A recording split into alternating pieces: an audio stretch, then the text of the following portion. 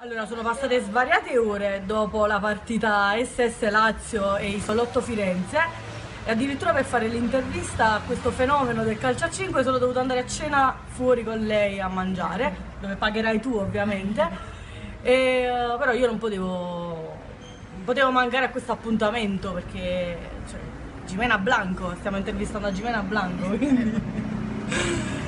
Allora, di ogni maledetta domenica. E, uh, Isolotto primo in classifica del girone Golden.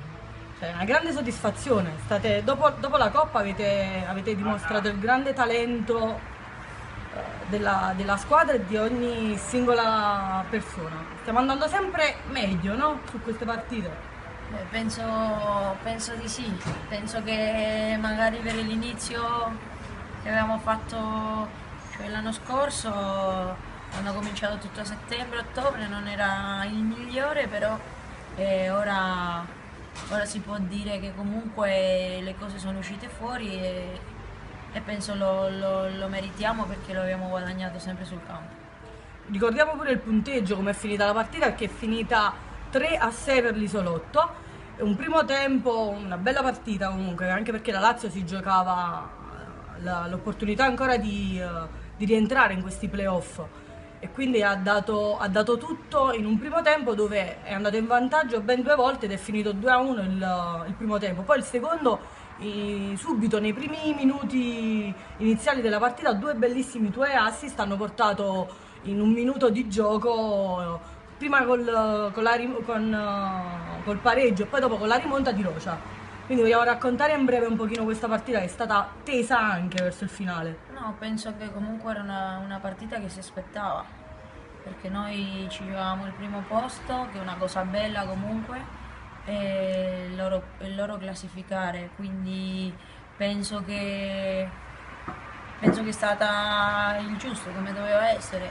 Noi ci ha costato il primo tempo, un po' di più metterci in partita, poi siamo riusciti a farlo e, e, loro comunque sul fatto fisico e aggressivo hanno cercato di girare la partita e invece è finita bene anche per noi.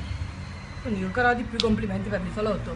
E Gimena Blanco, un nome, una garanzia, dove vai tu si vince. Cioè io sono arrivata alla conclusione che tu non è che sei forte, tu porti bene, tu sei un amuleto magico.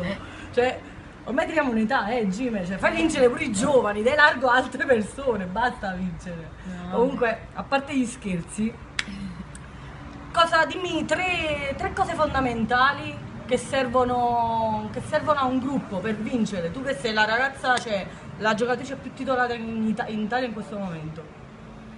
Vabbè, io penso che comunque tutto si basa un po' nelle motivazioni, sia individuale che gruppale, un po' nella mentalità e poi alla fine comunque mh, mm, anche un po' di, di, cuore, di voglia e soprattutto anche gruppo, gruppo di squadra, cioè di momenti comunque che trovi la motivazione e che con quello da fianco vuoi vincere. Secondo me parte comunque tutto gruppale, poi al di là delle, delle, delle giocatrici e le cose individuali che, che, abbiamo, perché si è dimostrato all'inizio comunque stavamo le stesse persone finché ci, non ci siamo ritrovati fra tutte eh, non si andava a vincere, quindi secondo me è un po' di tutto al di là del campo. Senti Gime, io non so se ricordo bene, però per me ho questo ricordo, tu sei per, per me la, la, prima straniera venuta in Italia, cioè forse c'è stato pure il Preci, ma tu sei veramente la prima che è sbarcata in Italia e ha fatto la differenza. Oggi di straniere ne abbiamo a bizzeffe anche grazie ai eventuali uh, procuratori o uh, giocatori che portano altre ragazze, quindi la trafila è pure un pochino più, più facile eh, perché il movimento aumenta, sta crescendo e quindi ci sta anche più voglia nelle altre nazionali di venire in Italia a giocare. Uh, se tu dovessi tornare indietro, Uh, sceglieresti di arrivare in Italia oggi che il movimento è molto più movimentato oppure rifaresti tutta la trafila tua iniziale? Vabbè come sono andate le cose rifarei tutto, tutto un'altra volta, le stesse scelte sportive e tutto quanto. Penso anche se il movimento era un po' inferiore a quell'epoca, scelgo, scelgo di arrivare, cioè per dire quando eravamo contate con le mani le straniere, perché comunque è stata una cosa bella per me, tipo orgoglio per me, eh, riuscire a crescere e andare avanti anno a anno. Non, mm, cioè, mm, forse sarebbe stato meno bello arrivare per un procuratore, cioè per la nazionale, cioè magari, perché comunque è bello questo che ora il movimento è cresciuto, però io scelgo, resto ancora con quelle strade che ho fatto io. Senti, ti faccio questa domanda che è un po' impertinente, un po' pepata, va? Non voglio, non voglio rischiare uh, argomenti brutti, però la, la, mettiamo un po' là a ridere. Tu all'inizio dell'anno, dell'anno eh, a settembre, agosto, settembre, si è alzato un polverone, la, il caso Blanco. Cioè sei diventata famosissima nel giro di poche ore, perché ovviamente hai iniziato la stagione con, uh, con una società e poi sei sparita e ti sei riapparsa con un'altra maglia.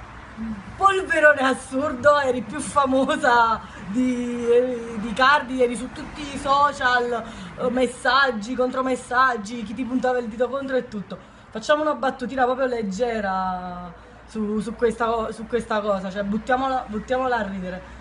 Ma tutta sta notorietà, chi te l'ha detto? La federazione di fare di, far, di farti sta pubblicità? No, no, vabbè. Vabbè, comunque niente. Sono scelte e nulla. Sono scelte, scelte anche sportive che tra l'altro è andata bene, penso, perché ormai eh, comunque penso quello che già si è fatto pure se mi, piace, mi piacerebbe vincere un altro scudetto, comunque già si è vinto Coppa, quindi per me che ti devo dire, per me è tanto. Quindi eh, devo scegliere, scelgo un'altra volta, poi dipende il polverone, tutte queste cose. Non l'ho fatto io, è la gente che lo fa. Senti Gime, uh, che cosa riserva il futuro per Gimena Blanco? Che cosa ci sarà nel tuo domani? Nel mio domani? È eh, bella domanda, no. Io penso che comunque, come, come ti ho detto, eh, sempre le motivazioni si cercano, si trovano e tutto quanto e io ho cercato di trovare le mie ogni anno per essere motivata, per riuscire a vincere qualcosa e tutto quanto.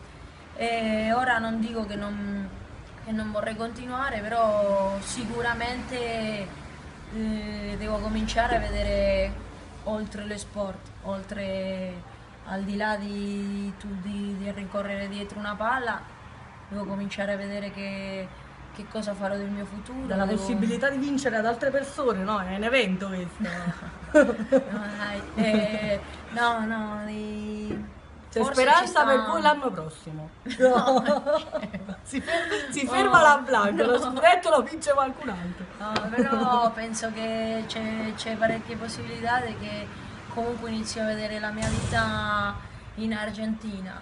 Mm, la mia idea, sinceramente, e iniziare a vedere tanti fatti personali là. Però se c'è la possibilità con una squadra di venire a giocare Coppa Italia e tutte queste cose sinceramente ancora oggi per oggi del giro non mi piacerebbe uscire totalmente.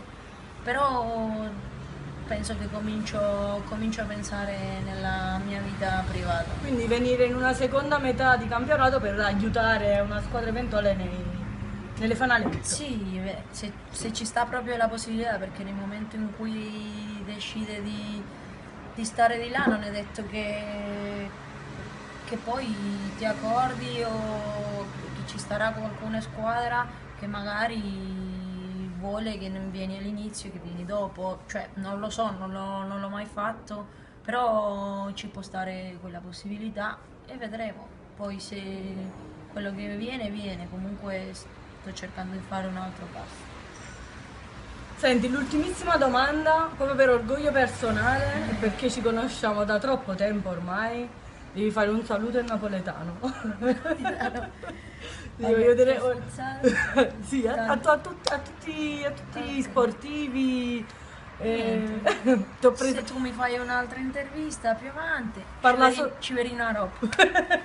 grazie, grazie Gime.